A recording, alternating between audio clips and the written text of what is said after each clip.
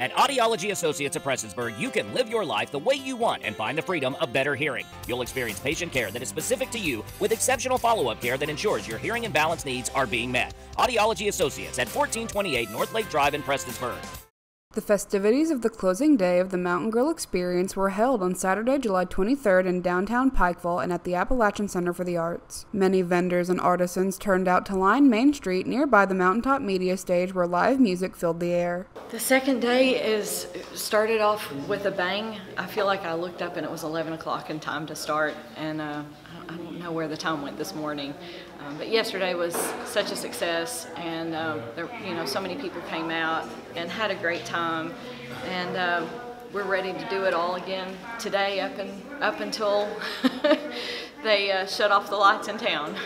Although the day was hot, there was a good turnout for all the events held at the Appalachian Center for the Arts, as well as the live performances held at both the App and by the arena. All the money earned from those who attended the events goes towards an excellent cause. Just a reminder that all of our proceeds from this event uh, benefit the Perry Cline West Care Emergency Shelter as well as the Turning Point Domestic Violence Services.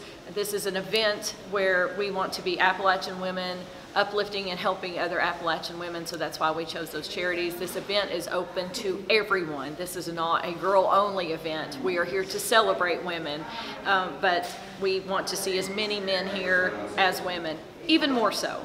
The closing day for the Mountain Grrl Experience held just as much fun, music, and joy as the first. As time progresses, there are hopes that the festival will grow into a larger and longer event. For Mountaintop News, I'm Kelsey Dean.